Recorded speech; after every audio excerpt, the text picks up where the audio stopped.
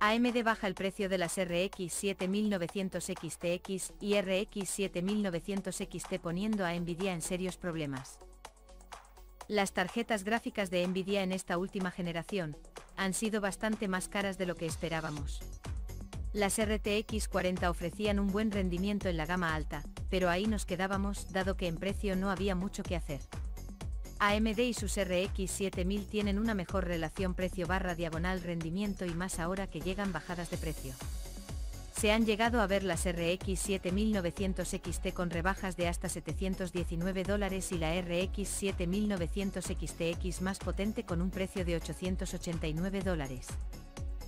La competencia en rendimiento y precio entre marcas siempre es fundamental para que podamos avanzar.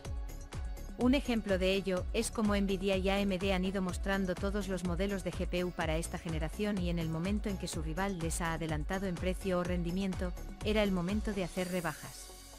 En el caso de Nvidia, ya prácticamente ha lanzado todas las tarjetas gráficas que tenía pensadas, quitando las RTX 4050 y RTX 4050 Ti de gama baja. En AMD aún tenemos otros modelos pendientes, pero podemos decir que está casi todo mostrado. Las AMD RX 7900 XT y XTX experimentan una rebaja de precio significativa. Con lo que tenemos ya podemos decir que donde hay que competir siempre es en precios y más teniendo en cuenta que este es el factor más importante. Nvidia raramente los baja si tenemos en cuenta que su gama alta y en concreto su RTX 4090, no tiene ningún rival en cuanto a rendimiento. En cambio, la RTX 4080 sí tiene competencia directa de la RX 7900 XTX de AMD. En el caso de la 4080, esta suele venderse por unos 1.100 dólares o incluso más en tiendas de Estados Unidos. Por parte de AMD la RX 7900 XTX solía tener un precio similar, pero ahora hay una rebaja muy interesante del modelo Power Color Hellhound, la cual cuesta 899 dólares en tiendas como Amazon y 889 dólares en Nue.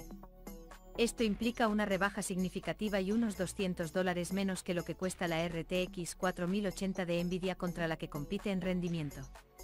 Está claro que Nvidia tiene la ventaja de DLSS 3 y Frame Generation, pero recordemos que AMD FSR3 y Fluid Motion Frames está aquí como su equivalente. En Europa los precios son bastante más elevados. Otra GPU que quizá nos interesa más es la Power Color Hellhound Radeon RX 7900 XT de 20 GB, justo el modelo por debajo. Esta tarjeta gráfica en concreto ha experimentado una rebaja muy interesante dado que se vende por 749 dólares, pero aplicando el código de descuento limitado TEXA47, baja hasta los 719 dólares. Por este precio, no solo nos llevamos una GPU más rápida que la RTX 4070 Ti contra la que compite, sino que además es más barata dado que la de Nvidia cuesta 799 dólares. Sabiendo estos precios en EU, toca ver cómo están estas gráficas comenzando por España. Las AMD RX 7900 XT se encuentran por unos 850 euros, aunque en PC Componentes están con una oferta del modelo Sapphire Pulse por 839 euros. La RX 7900 XTX en su versión más económica la encontramos por 999 euros en tiendas como Amazon. Saludos.